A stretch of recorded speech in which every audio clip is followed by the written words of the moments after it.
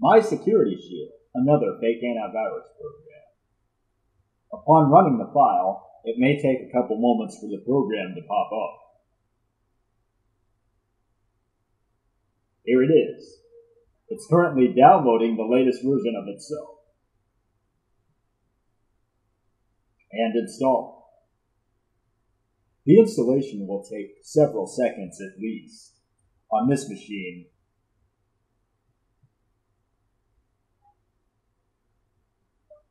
nothing appears to be happening at the moment.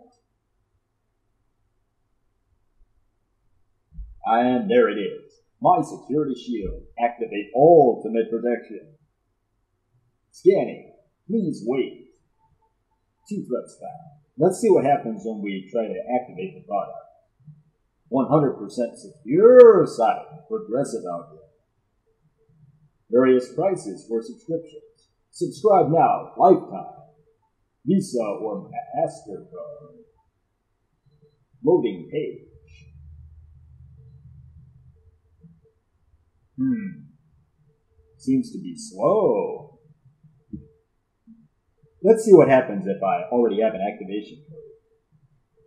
Input your product key. Uh, no. Still loading. Ah, there we go. Oh my. You certainly wouldn't want to fill this out.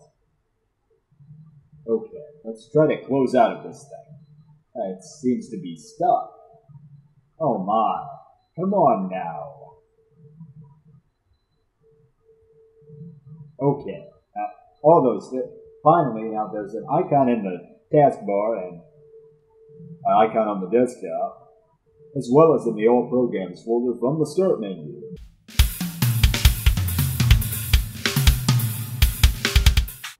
Let's think about how to remove this. Can't run Task Manager.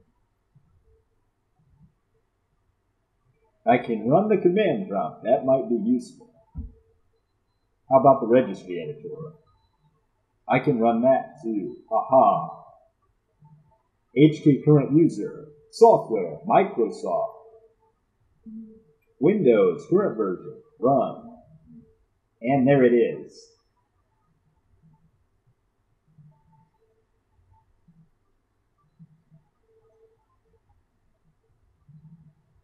We'll go ahead and delete this value. Let's look at the shortcut properties. Ah, the same file. Copying. Opening a command prompt. And we'll use my favorite command, task kill.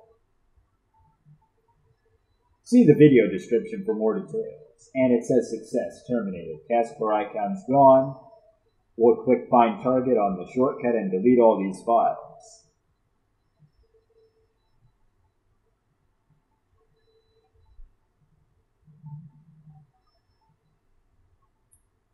You can delete the shortcuts as well from the Start menu.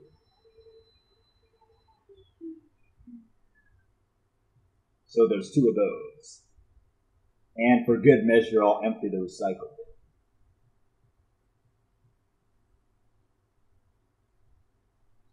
After rebooting, the program should be gone. MC Beatbox for the win.